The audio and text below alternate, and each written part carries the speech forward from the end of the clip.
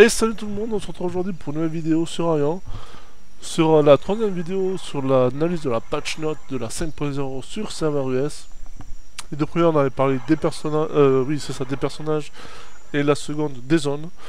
Euh, Celle-ci on va déjà commencer parler des instances et puis on verra après où c'est qu'on en est. Euh, Alors qu'est-ce qu'on peut dire à propos des instances de cette mise à jour? Il y a quatre nouvelles instances.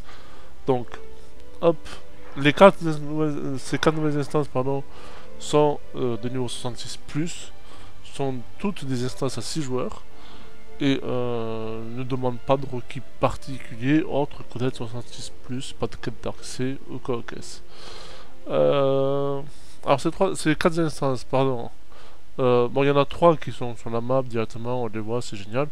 Il y en a une par contre qui est ici dans la tour d'éternité. Alors la tour d'éternité, comme j'avais dit dans la précédente vidéo, c'est une zone instanciée, donc on va aller voir. Enfin, une zone instanciée, c'est même pas une zone instanciée en fait, parce que bah, tous les joueurs qui rentrent, on les y croise dedans quoi. Donc on peut rentrer par là. Hop.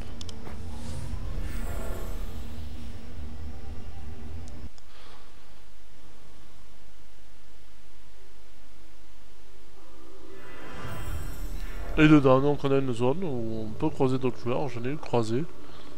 Bon, visiblement pas là. Et euh, à l'intérieur de cette zone, il y a ici, enfin on le voit sur la sur la euh, sur la map, sur la minimap, euh, il y a une instance qui s'appelle les archives de l'éternité. Et et donc voilà, l'accès se fait donc par cette zone et euh, donc c'est instance à 6, joueurs. Euh, voilà, qui ressemble quand même vaguement à la... À... Allez À l'instance qu'on avait fait lors de la mission euh, pour justement passer niveau 66, enfin la, mission quand on est de arrivé dans cette zone, quand on n'a pas 65 en fait. Enfin, bref, les, missions par lesquelles on a démarré avec cette extension, euh, on avait une partie qui se passait ben, dans, une, zone instanciée et ça ressemble beaucoup à ça. Euh, c'est pas forcément la même chose, mais ça y ressemble beaucoup.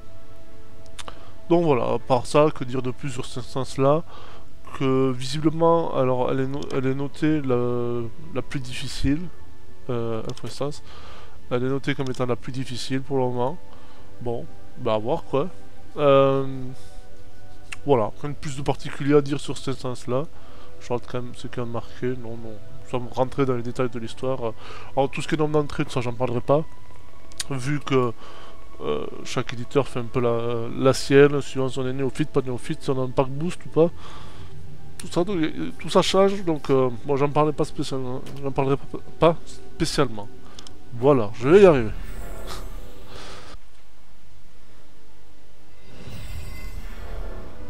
Autre instance, donc les trois autres se trouvent sur la map, euh, à disposition assez directe, sachant que d'ici où on est, il y a un flag directement qui nous amène devant l'instance.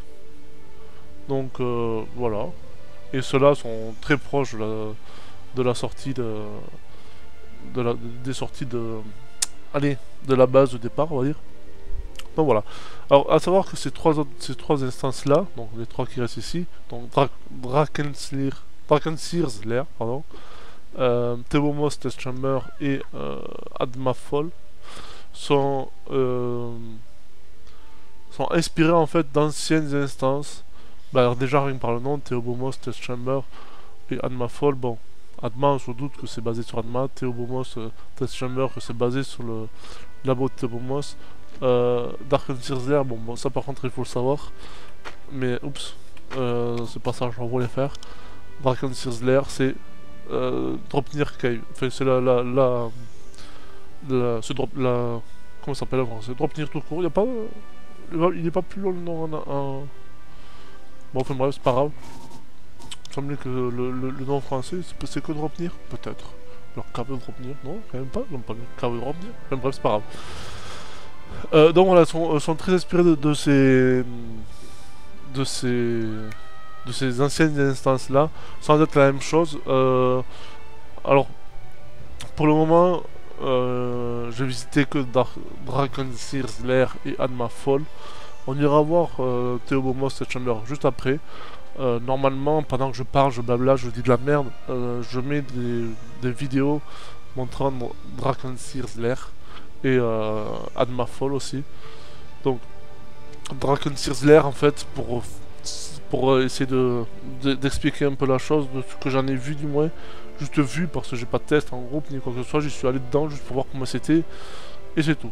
Euh, on a, euh, il faut s'imaginer en fait la, en vidéo ça sera, ça sera vu, la salle de boss de, de Dropnir dans Bakarma, donc ce sera pas Bakarma mais c'est pas grave. Vous avez le boss au milieu et autour du boss, alors il me semble que c'est trois, euh, trois générateurs de boucliers avec autour du générateur trois autres mobs donc le but du jeu, j'imagine, c'est des pop les mobs, des pop les générateurs de boucliers et des pop le boss. Grosso merdo, c'est ça. Euh, à savoir que on peut aller directement taper le boss. Ben, c'est fort à rien. Alors on voit qu'il réagit, mais euh, mais il renvoie pas de coups en fait. Il, vous tape pas ni rien. Et il en fait, il est immunisé au début tant que les générateurs de boucliers sont pas cassés forcément. À savoir qu'on peut taper les générateurs sans aggro les mobs qui autour, mais par contre, euh, dès qu'on tape les générateurs, j'en ai fait l'expérience.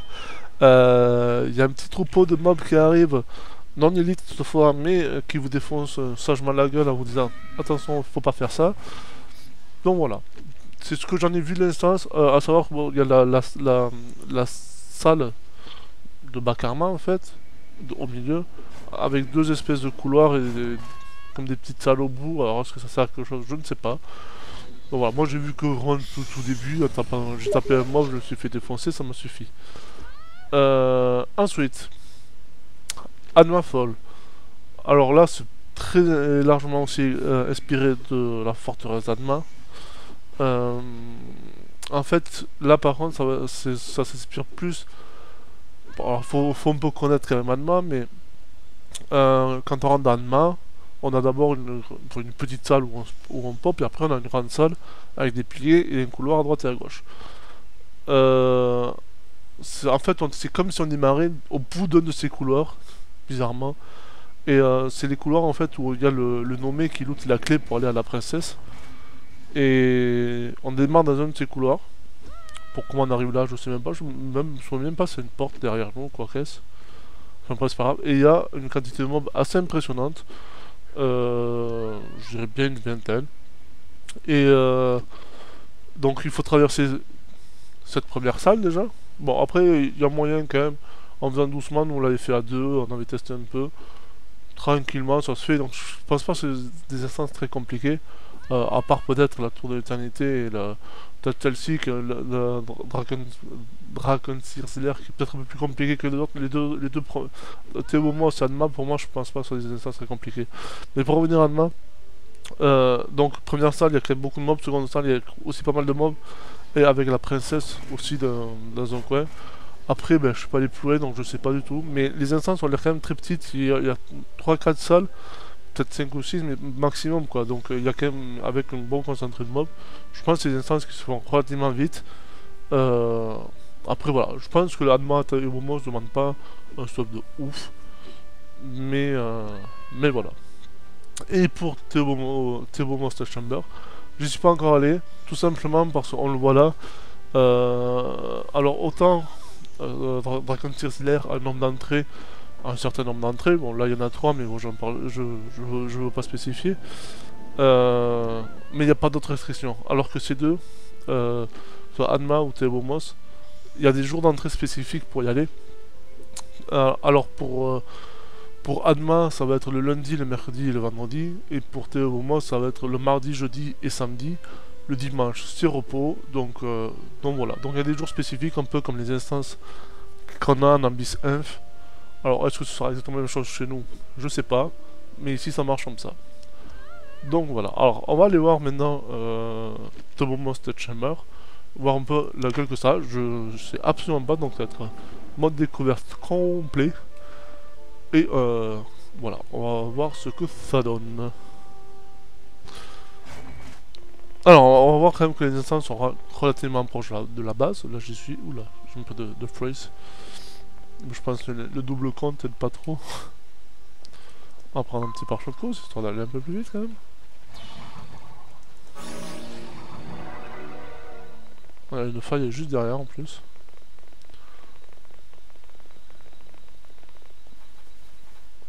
Oh, moment. Ça fait sale. Et on va voir ce que...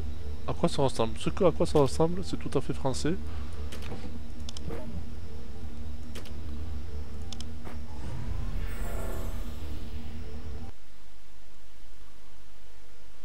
Ah, ok. Là. Très bien. Alors ça ressemble beaucoup à la bibliothèque en fait qu'on a à, la fin de la beauté de Bomos avec euh, je sais plus comment elle s'appelle la meuf là. Euh, donc voilà, donc euh, un peu comme Anma, pas mal de boss. Donc celui-ci qui permet j'imagine d'ouvrir la porte derrière. Donc un petit clean tranquille à faire tout doucement. Pas y aller comme des sacs. Après avec un gros stuff, niveau 75, bien stuff, euh, il y a moyen de foncer dans le tas. Alors qu'est-ce qu'on a? Ouais, en fait, ils ont repris clairement une partie de la Botéo, euh, qui est donc la bibliothèque avec le petit couloir qu'il y a là, la salle où en fait, en, théorie, je sais pas si on peut dessiner, si on peut dessiner. En théorie, on arrive par là, avec l'ascenseur qui est ici. Euh, ici, alors attendez, je sais plus si c'est le premier ou je crois c'est le premier. On repart euh, vers la salle, la salle de Mario là, comme on dit d'habitude. Euh, et, voilà, donc euh, moi j'imagine qu'ici il y a plein de mobs, je ne vais pas pouvoir trop m'en approcher. Et la base de la, la salle du boss de Trivra, qui a l'air d'y ressembler quand même plutôt vaguement, euh, mais en plus défoncé, quoique, je sais pas. Ici l'orbe rouge, ici l'orbe bleue. l'orbe jaune et verte, on me l'air un peu, un peu défoncé quand même. Donc voilà. C'était vraiment euh, voir à quoi ça ressemble. Et euh, bon voilà, ça ressemble à ça. Pour moi, je ne sais pas plus. Je, ne vais pas m'amuser spécialement en push, c'est 67. Donc je pense que franchement, euh, en groupe 65 ou 60 km de 66 plutôt, il y a moyen de, faire euh, l'instance. Alors nous on avait fait à deux. On avait fait à Madog. un mob, genre, bon pas celui-ci parce que c'est un boss, mais genre celui-ci, je crois que c'était 2 millions d'XP par mob. Donc bon, là, il y a peut-être moyen de pex, parce qu'il y a quand même pas mal de mobs. Donc, voilà. Euh, que dire de plus sur les instances? Pas grand-chose, je crois. Euh, bon, aussi, il y a quelques fixes, machin, ça, mais c'est pas, on s'en fout. Euh... Bon, rien, de, rien de, vraiment important. Donc, concernant les instances, c'est tout. Donc, euh, je regarde un peu où on en est de la vidéo. Et puis on se retrouve euh, au, euh, au, niveau de la base pour soit conclure selon le temps, je pense qu'on n'est pas très très long, mais c'est pas plus mal, remarque, remarquez, ou alors on parlera peut-être un petit peu de l'interface utilisateur, des modifications qu'il y a eu. Sur ce, à plus. Et donc on a à peu près une bonne dizaine de minutes, je pense on a largement le temps de parler de l'interface, il n'y a pas non plus, enfin il y a quelques grosses modifications, mais, euh, mais ça devrait aller relativement vite, je pense. Euh, alors déjà, niveau interface, qu'est-ce qu'on a? Graphiquement, ça n'a pas vraiment changé. Euh, bon, il y, a, ça qui a changé, l'espèce de, couronne de laurier ou de je sais pas quoi qu'on a autour de notre portrait. Maintenant, bon, ma foi, ok, ça permet de nous différencier des, des, des devas qui ne sont pas 66 et plus. en dessous, on va dire que c'est les petits devas. enfin bref. Donc ils n'ont pas droit à, ce, joli, ce, joli portrait un peu, un peu différent des autres. Euh, enfin, celui-là, du moins. Euh, sinon, niveau interface, qu'est-ce qui a changé? Euh, Là non plus, il y a pas... Y a des nouveaux trucs, mais justement, on va, on va y venir. Euh, maintenant, dans l'inventaire, dans on peut cliquer sur un item, par exemple un parchemin, et on a un, menu qui s'ouvre, un menu contextuel, euh, alors ça va dépendre, les différentes options qu'il va y avoir vont dépendre en fait de l'item que c'est, du type d'item que c'est. Forcément si c'est une armure par exemple, on n'aura pas la même chose qu'une potion. Donc voilà.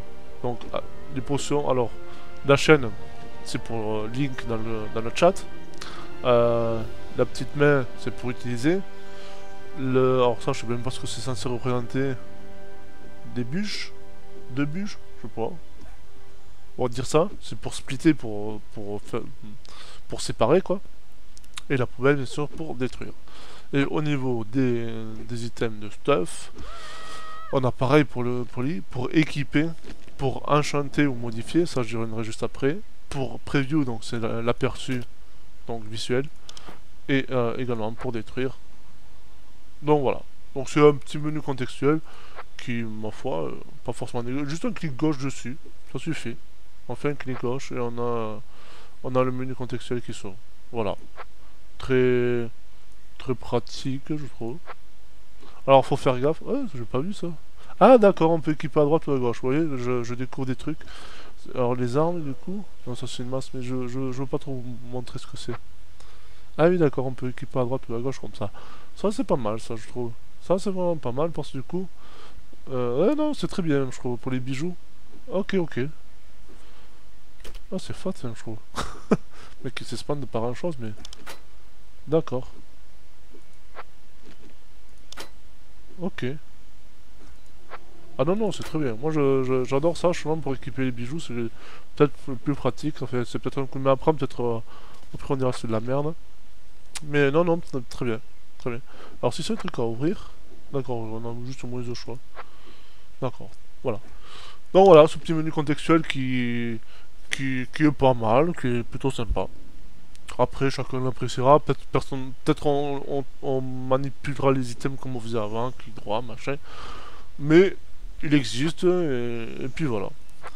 Euh, autre chose qui, je pense, est une des plus grosses modifs niveau interface et niveau gestion de certaines choses, ça va être la fonction. Bon, à, localité essence, on l'a vu, c'est pour mettre les, pour les, points d'essence qu'on a. Euh, sinon, après, je, ne pense pas qu'il y ait grand chose de nouveau. Euh, dans tous ces menus là, je vérifie quand même. Non. Non, non, non. À part bien sûr celui-ci.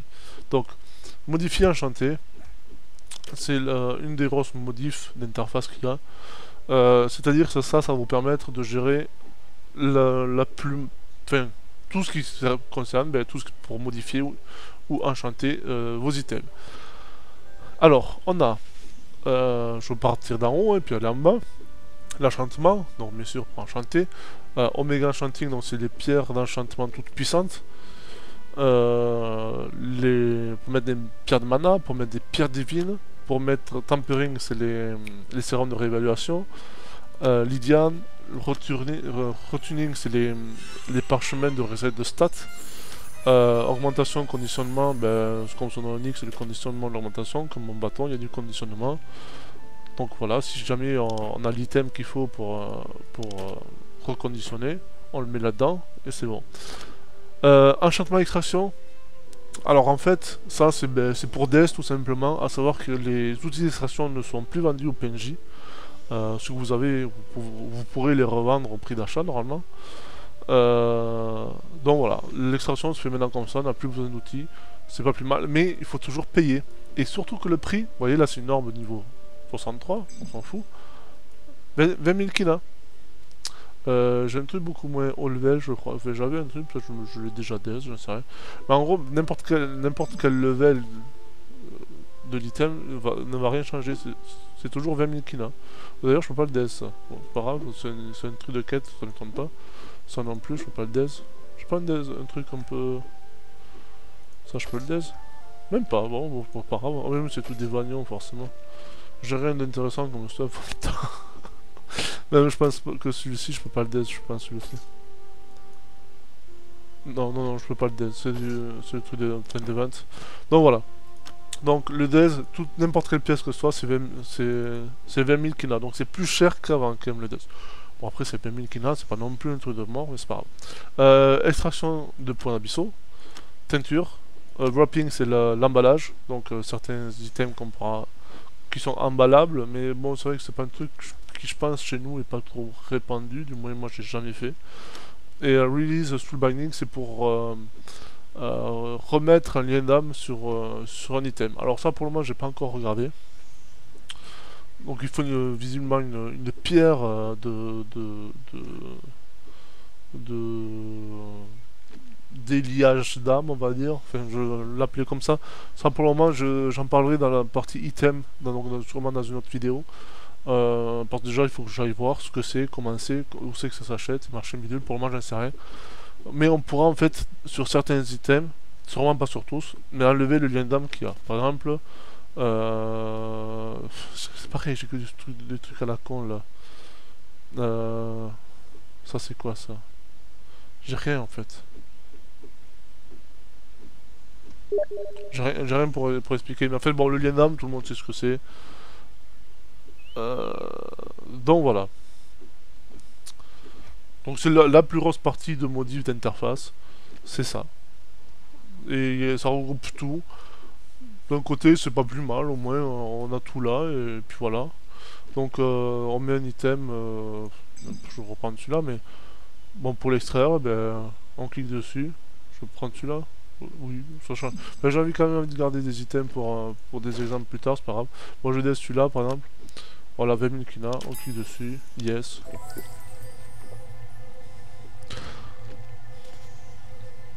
Et voilà. Donc on obtient des pour, de ça j'en parlerai plus tard, dans la partie euh, dans la partie euh, item justement. On peut après enchanter derrière. Bon là je peux rajouter que des dianes sur celui-là. Bon en plus je crois que j'en ai pas en stock. J'en ai pas là. Je, dois en avoir quelque part encore, je suis même pas sûr. Euh, qu'est-ce que je peux vous montrer? Les pierres de mana peut-être? Enfin voilà, le principe vous l'avez compris, hein, on, peut mettre les pierres de mana, on peut définir le nombre on peut mettre les, suppléments, c'est ça, les suppléments de certissage, je cherche le nom, j'étais pas sûr du nom en fait. Euh, Lydiane, enfin voilà, on peut tout gérer à partir de là. Euh, l'enchantement, alors moi je regrette toujours l'enchantement, je comprends pas pourquoi. On peut très bien définir les pierres qu'on veut mettre, mais on peut pas définir le nombre de trails qu'on veut, veut. Bon, ça après, ça, ça peut-être sa raison. Euh, donc voilà. Que dire de plus? Mais pas grand chose sur l'interface. C'est grosso modo ce qu'il y a. Euh, ça, je l'ai montré vite fait tout à l'heure. Mais hop, instance. Le fait qu'ils ont rajouté des nouvelles couleurs pour euh, notifier le, degré de difficulté supérieur. Là, il n'y a rien de, particulier. Et puis... Et puis voilà. Bon, après, il y a différents petits détails à droite à gauche. Mais j'en parlerai pas plus, notamment qu'à la jouer, ils ont rajouté une catégorie pour les ailes. Mais enfin, voilà plein de petits détails après autres qui je trouve sont pas forcément importants. Là je vais montrer le plus important.